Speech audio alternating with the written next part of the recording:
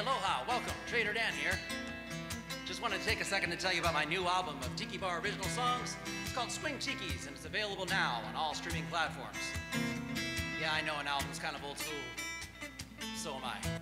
It's an eclectic mix of songs and stories from Tiki Bar life around the world. Just like any Tiki Bar menu, if you don't like one, just try another.